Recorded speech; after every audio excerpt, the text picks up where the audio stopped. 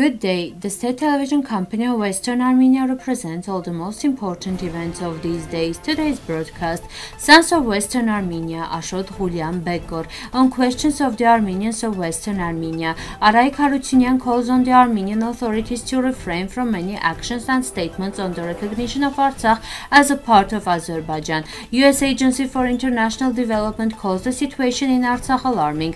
Public discussions of the problems of Javakh. The Azerbaijan Armenian authorities have established a checkpoint on the road to Berdzor, thus bearing responsibility for the illegal blockade and failure to comply with court decisions. Minister of Foreign Affairs of Republic of Armenia. The sixth Yerevan International Book Festival will be held from May 25 to 27. Ashot Hamayakovich Ghulian Bekor was born on October 6, 1959 in Baku.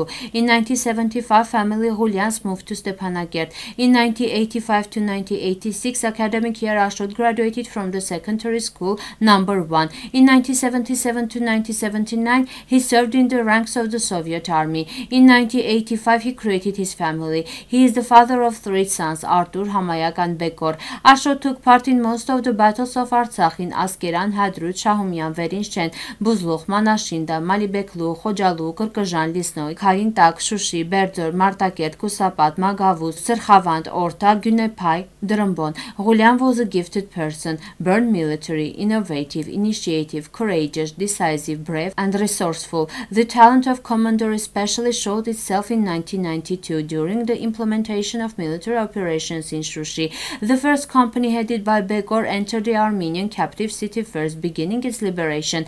On July 27, 1992, in the Yerevan Republican Hospital, Armenak Abrahamyan met Ashot Ghulyan wounded during the fighting in the Martakert region. The battle for the liberation of the Rumbon village on August 24, 1992 was the last. This time the bullet was fatal. He was awarded with Martakan Khach Order, Voske Artsiv Order of the first degree. He was awarded the title of Hero of Artsakh for services to motherland. The deliberate destruction of cultural heritage during and after the war is a crime. History proves that any manifestation of intolerance towards civilizational values belonging to others, the deliberate damage or destruction of cultural and religious heritage must be condemned with a firm determination. Targeting of cultural heritage, especially in time of war, is strictly forbidden by several international conventions. The Hague Convention for the Protection of Cultural Property in Time of Armed Conflict of 1954 and 1990 1999, the UNESCO Declaration on the Intentional Destruction of Cultural Heritage of 2003. From Syria to Afghanistan, from Mali to Yemen, we have seen the destruction of the cultural heritage of universal value, which in many cases hasn't been restored. Unfortunately, the assertions and proof of the Armenian side that in no military situation the Baku government, particularly in the territory of Nakhichevan, has been systematically destroying the Armenian historical cultural heritage for many years. The policy of the Azerbaijani authorities of authoritative international organizations has not received a harsh reaction and evaluation. The number of destroyed monuments is more than 89 medieval churches, 6,840 crossstones and 22,000 tombstones. We remind that the only one who began the litigation against Azerbaijan in this case in the European Court of Human Rights is the president of Western Armenia, Armenak. Artsakh wasn't and won't be a part of Azerbaijan because it is the will of our people. President of Artsakh Republic Araik Harutyunyan called on Artsakh people not to despair. Welcoming the statement of Artsakh National Assembly voiced by RA Prime Minister Nikol Pashinyan, I underline that any statement or document which ignores the sovereignty of the Artsakh Republic, the right of our people to self-determination and the fact of its realization is unacceptable for us. According to Harutyunyan, the deported Armenians must demand practical steps from Armenia to guarantee Artsakh right to self-determination and security. I appeal to the Armenian authorities to refrain from any actions and statements on recognition of Artsakh as a part of Azerbaijan, adhering to the obligations undertaken by domestic and international documents. I appeal to the Russian authorities and Russian President Vladimir Putin to ensure the fulfillment of the obligations undertaken by the trilateral statement of the heads of Armenia, Azerbaijan and Russia on November 9, 2020. I call on the people and authorities of Azerbaijan to end the policy of hate hatred and genocide towards the native people of Artsakh. To be ready to sincerely accept the principle of equality of peoples, the title and rights of the native Armenian people in relation to Artsakh. The government of Western Armenia once again reminds the indigenous people of Artsakh accepted their right to self-determination in 1991 in accordance with all international norms after which the territory of Artsakh became independent from the USSR. The government and people of Artsakh should demand guarantees for self-determination and security of Artsakh people themselves defending their rights up to and including the right of self-defense. Erin McKee, Assistant Administrator for Europe and Eurasia at U.S. Agency for International Development, called the situation in Artsakh disturbing. As reports are Press, this was stated by McKee during the hearings of U.S. House of Representatives Committee on Foreign Affairs. The situation in the Nagorno-Karabakh region continues to be of serious concern. As a result of the blockade of the Berdzor corridor, citizens of Artsakh are denied or have limited access to vital services, medical care and basic goods, introduced the U.S. USAID Assistant Administrator. On May 23 at 5 o'clock, the non-governmental organization Center for Social Justice held a public discussion on Akhalkalak on the topic Dominant Views and Voices of Javakheti from Below. The purpose of the meeting was to critically reflect on the prevailing discourses and policies related to Javakheti in recent history, as well as to discuss the social changes that have begun on the ground in recent years.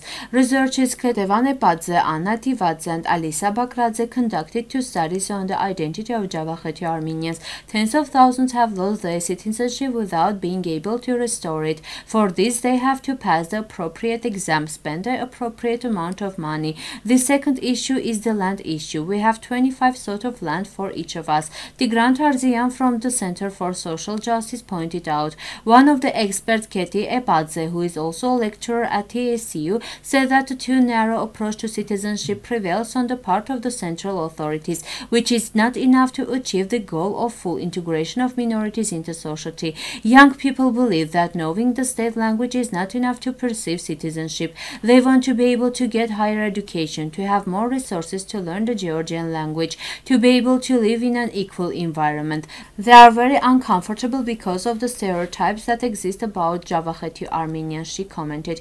According to Katia Epadze, the stereotypes concerning Javakheti Armenians are conditioned by the tense years in Georgia in the 90s and the ethnic nationalism emerged against the background of territorial conflicts. The government of Western Armenia has repeatedly addressed the problems of Javakh, which is a historical territory of Western Armenia, being a part of it. Let us remind you that Javakhis are not a national minority in Javakh. They are an indigenous people who have all the rights of an indigenous people, including the right to receive citizenship as natives of Javakh. The nationalism established in Georgia in the 1990s cannot play a decisive role in in the fate of Javakhis. According to all international norms, they have the right to restore their right to live in an equal legal environment. The government of Western Armenia is ready to take on the role of an advocate of their rights in the international instances in the event of a complaint from the Javakheti. On May 23, RA Deputy Foreign Minister Vahe delivered a speech at the open debate of the UN Security Council on the agenda item Protection of Civilians in Armed Conflicts. In his speech, the Deputy Foreign Minister stressed the importance of implementing the Geneva Conventions and their additional protocols fully and without preconditions and underscored the key role of the UN Security Council in guaranteeing the fulfillment of obligations under international humanitarian law, touching upon the blockade of And its humanitarian consequences lasting more than six months, Vahe Gevorkyan noted, contrary to the legally binding decision of the International Court of Justice, the Azerbaijani authorities established a checkpoint on the road to Berdzor, thereby bearing responsibility for the illegal blockade and failure to implement the court decision.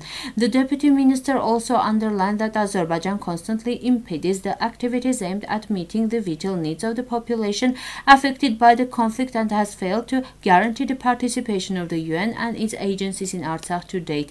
It was stressed that all the illegal actions accompanied by the policy of deepening Armenian phobia and xenophobia reveal the genocidal intentions of the Baku authorities, the ultimate goal of which is the complete ethnic cleansing of the indigenous people of Artsakh. The deputy minister expressed his hope that the UN Security Council, as the primary body responsible for international peace and security, in accordance with its mandate, would continue to be involved in this issue issue, guaranteeing the dignity, security of civilians and fundamental human rights. The sixth Yerevan International Book Festival will be launched with the support of RA Ministry of Education, Science, Culture and Sports. The festival will be held on May 25 to 27 at the National Academic Theatre named after Gabriel Sundukian. About 40 publishers, booksellers and cultural organizations, more than 50 writers, critics, translators and other specialists from Armenia, Russia, Poland, Italy, Germany and Greece will participate in the festival.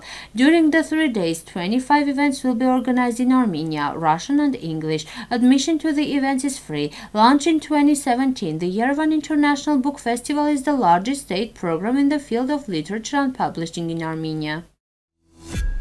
Now the musical part, the Armenian folk song.